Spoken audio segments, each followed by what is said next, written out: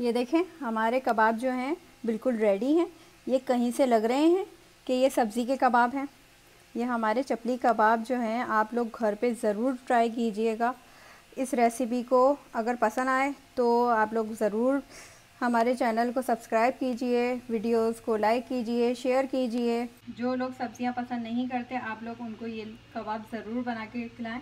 और ये देखें, कितने अच्छे और ये देखें जूसी जूसी कबाब, बिल्कुल। बेहतरीन। बहुत बेहतरीन जायके के साथ। असलकुम वेलकम टू माय चैनल, हमारा होम। कैसे हैं आप लोग सब? उम्मीद करती हूँ आप लोग सब ठीक और खुश होंगे। आप सबकी दुआओं से अल्हम्दुलिल्लाह, हम भी बिल्कुल ठीक हैं। आज हम एक न्यू डिश के साथ फिर दोबारा हाज़िर हैं। आज की डिश है चपली कबाब, जो हैं बिना गोश्त के। ना बीफ के हैं, ना चिकन के हैं, ना मटन के हैं। लेकिन बनते इतने मज़ेदार हैं, आप और आपके मेहमान खा कर खुश हो जाएँगे। चलें, फिर हम इसके अज्जा नोट करते हैं। ये देखें, ये बैंगन है। इसको मैंने छिलका इसका रिमूव करके और इसको इस तरह छोटे छोटे पीसीस में काट के और पानी में भिगो दिया ताकि ये काले ना हो। ये काले हो जाते हैं इसलिए। ठीक है? हाफ़ के जी हैं। और ये थ्री टेबल स्पून बेसन है। और ये तीन डबल रोटी के स्लाइस हैं जो मैंने ख़ुद ही ग्लैंडर करके इसका ब्रेड क्रम बना दिया है। ठीक है? टू टेबल स्पून अनियन है और बारीक चॉप करनी है इसको भी। ये स्प्रिंग अनियन है, हरी प्याज, ये भी टू टेबल स्पून है। ये हरा धनिया है, ये भी टू टेबल स्पून है। ये वन टेबल स्पून धनिया है, जिसको मैंने क्रश कर लिया है। और ये ज़ीरा है वन टेबल स्पून इसको भी मैंने क्रश कर लिया है। और ये पुदीना है, ये भी टू टेबल स्पून है, इसको मैं भी मैंने बारीक बारीक काट लिया है। ये हरी मिर्चें हैं, अपनी टेस्ट के हिसाब से आप ज़्यादा ले सकते हैं, मैंने दो ली हैं। उसको बारीक बारीक काट लिया है। ये one tablespoon crush chilli है। और ये नमक अपनी ज़रूरत के हिसाब से। तो चलें, अब हम रेसिपी स्टार्ट करते हैं। सबसे पहले जो है, कोई भी आप पैन ले लें। मैंने जो है, बैंगन इस पर डाल दी हैं। इसको अब हम थोड़ा सा रोस्ट करेंगे। तो इस पर हम थोड़ा सा नमक डालेंगे। और थोड़ा सा इसमें हम ऑयल डालेंगे। ये देखें, बस। ये देखें, इसको हमें मिक्स करना है। अच्छी तरीके से हम इसको रोस्ट करेंगे थोड़ा, ताकि ये सॉफ्ट हो जाए। अच्छी तरीके से ये देखें। ये होना शुरू हो गए हैं, ये देखें। सॉफ्ट। बस इसको मिक्स करके अब हम इसको कवर करके पकाएँगे थोड़ी देर।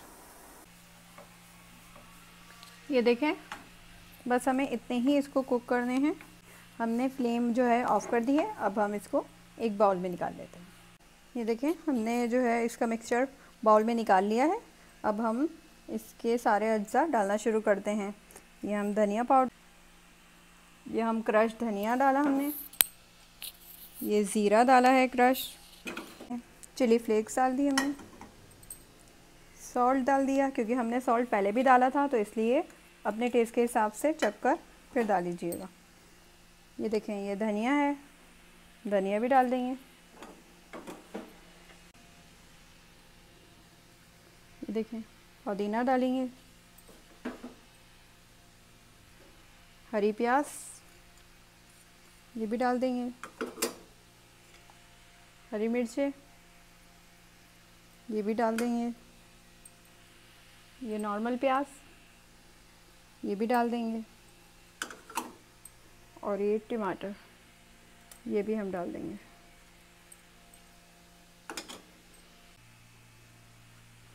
अब हम ब्रेड क्रम डालेंगे बाइंडिंग के लिए और ये बेसन डालेंगे। अगर हमें ज़रूरत हुई तो हम अंडा भी डालेंगे। अब हम इसको अच्छे से मिक्स करेंगे। ये देखें, अच्छी तरीके से। अगर आपको ज़रूरत महसूस हो कि इसमें बाइंडिंग की और ज़रूरत है तो आप बेसन या फिर ब्रेड क्रम और डाल सकती हैं या फिर अंडा भी डाल सकते हैं। अभी हम देखेंगे हमें और बाइंडिंग की ज़रूरत है तो हम इसमें अंडा डालेंगे और अगर नहीं होगी तो हम नहीं डालेंगे। ये देखें मैंने इसको अच्छी तरीके से मिक्स कर लिया है, लेकिन मुझे लगता है कि इसमें थोड़ा सा हाफ़ अंडा डालने की ज़रूरत है तो मैं हाफ़ अंडा डाल रही हूँ। देखें। इसको मिक्स कर लेंगे अब हम अच्छे से। ताकि ये जूसी और टेस्ट में और ज़्यादा अच्छे बने। ये देखें, हमारा मिक्सचर जो है रेडी है। अब हम हाथों को ग्रीस करेंगे थोड़ा सा ऑयल से। उसके बाद अब हम अपने कबाब रेडी करेंगे। ये देखिए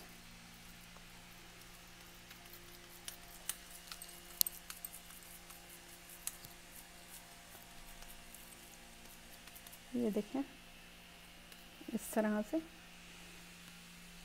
देखें, बैंगन के हमारे चपली कबाब रेडी हैं। अब हम इसको फ्राई करते हैं। ये देखें, फिर हम अपने चपली कबाब फ्राई करेंगे। और सेकंड ये कि जो हमारा अंडे का मिक्सचर बचा था, आप चाहें तो इस तरह इसमें कोडिंग करके भी फ्राई कर सकते हैं, जैसा आपके घर वालों को पसंद हो, आपके बच्चों को। आप इसी तरह फ्राई करके उनको खिलाएँ।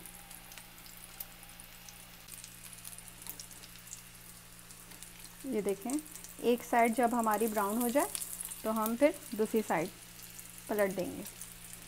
इसी तरह इनकी भी एक साइड हो जाए, फिर हम दूसरी साइड पलटेंगे। ये देखें, इनको जो है गोल्डन ब्राउन करना है। कितने अच्छे लग रहे हैं ये हमारे कबाब, चपली कबाब। कोई बता भी नहीं सकता कि ये आपने बैंगन के बनाए हैं, सब्ज़ी के बने हैं।